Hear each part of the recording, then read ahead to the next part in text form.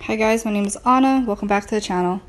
The bold and beautiful spoiler suggests that Sally Spectra isn't finished with her attempts to emotionally blackmailing Wyatt Spencer. B&B fans know that even though Flo Fulton and Wyatt agreed to kick Sally out of Sally's home or Wyatt's home, Sally is Sally may be more determined than ever to win Wyatt back.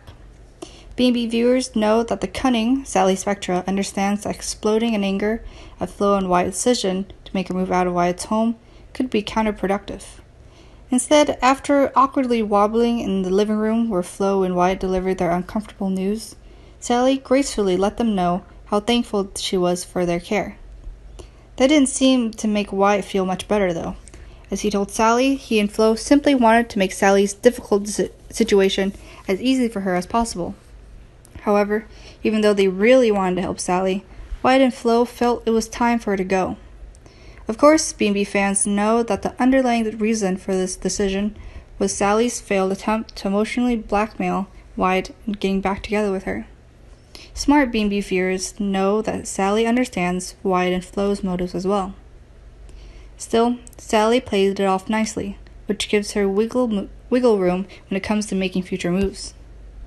Now, Flo may have badly miscalculated when she op- when she allowed Wyatt to leave the door open for Sally to stay in his home just a little longer.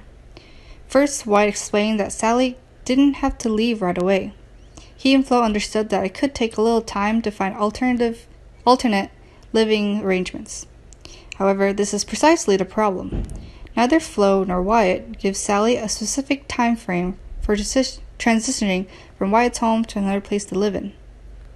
B&B fans may just see Sally dragging her feet. Viewers will likely watch as Sally pretends to reach out to her connections around town, only to unfortunately discover their respective doors have all been shut in their face.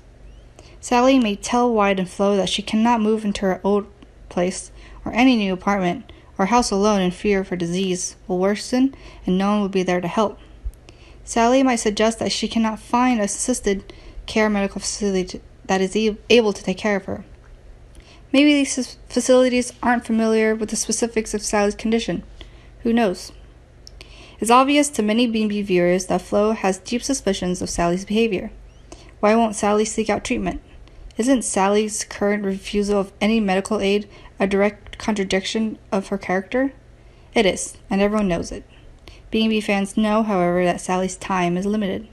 Viewers know that Sally's pretense is wearing thin, and Flo is leaning into her own investigation. While Sally has been doing a decent job of covering her tracks, even getting Dr. Penny Escobar to lie on her behalf, Flo may soon cut through her web of lies. Viewers already know that Flo wasn't satisfied with Penny's answers when she visited her in her office.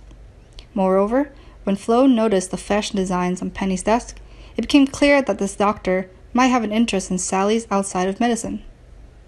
Flo is sure to continue digging, Meanwhile, for Sally, the clock is ticking. How the entire drama plays out itself itself out is anybody's guess right now. However, one thing is clear.